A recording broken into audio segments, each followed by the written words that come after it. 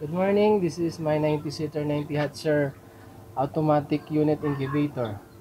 In this video, I will show you how to set this STC 1000 thermostat. So this incubator most commonly used by game fowl breeders. This one here. So this is 45 uh, egg setter, 45 egg setter, and the underneath is the hot cell. Okay, so let's set this incubate this thermostat. So press this letter S for almost 3 seconds. Wait for F1 to show. Then hold, press again and press this upper button, this one. So set this to 37.2.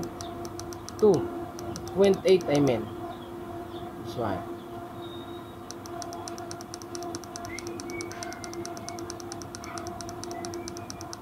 Again, uh, long press the letter S, wait to S, uh, F1 to show, then press again, hold, and press one by one up to 37.8.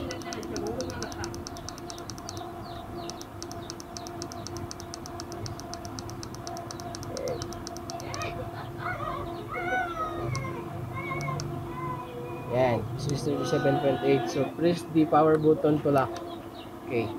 Now let's set the difference. Uh, 0.5 lang siya. So again, this is uh, press letter S. Hold, then release. Press the upper button to F2 and press letter S again. Hold, then press upper button 1. Again. Okay, F2 is again the ang F2 you should set this to ano? Bitaw eh F2 you should set this to 0.5 difference po nila sa pagbalik ng siga. Okay, this is the difference. 0.5 okay. So uh, the heater will stop at 37.8 and will uh, back on at 37 37.2 okay. so another one let's set the F3 there is again uh, F3 uh, F3 you need to set this to 0 okay. That one. So your incubator is set. So important dito is yung kanyang sensor. Dapat yung sensor niya nadaan sa harap mismo ng airflow. Ganyan. So, dapat dyan ang sensor make, to make sure na ang inyong incubator is calibrated.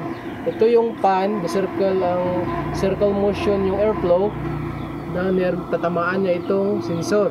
So, dito man sa ilalim, maglagay po tayo ng thermometer. Yan, kung makita mo nimo ang thermometer dito yan papalo sa 100 para mag-coincide dito naman sa ating digital thermostat STC. Yan. At, ganyan. So, tingnan natin, tayo natin para malaman natin kung tama ang ating ginawa. Isasarado natin itong pinto. Yan. Yan. So, ganyan paano mag-set ng ating thermostat. So itong unit naman, mayroon na to siyang built-in candling. This one. Yan. So stay lang kayo kay dahil tuturuan ko kayo para gumawa ng incubator. Step by step. Gagawa tayo ng semi-automatic at automatic. Yan, sa lahat klaseng itlog. Yan. So pasapaakyat po siya, makikita natin, makikita ninyo yan.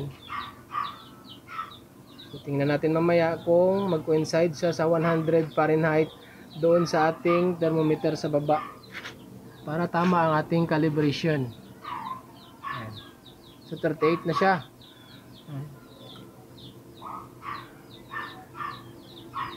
Okay.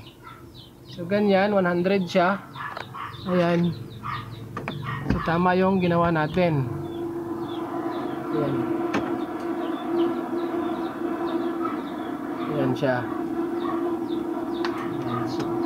So magtataka po kayo minsan umaabot ito ng 38.5,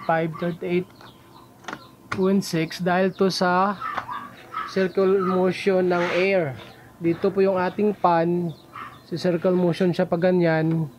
Yan, paikot, ganyan siya. So yung ating sensor na nasa loob, tatamaan pa yung huling hip ng hangin. Ang last airflow, babasahin pa niya yan. So aakyat yan ng 36.6 ganyan. Yan, so yan lang po muna. Okay, thank you.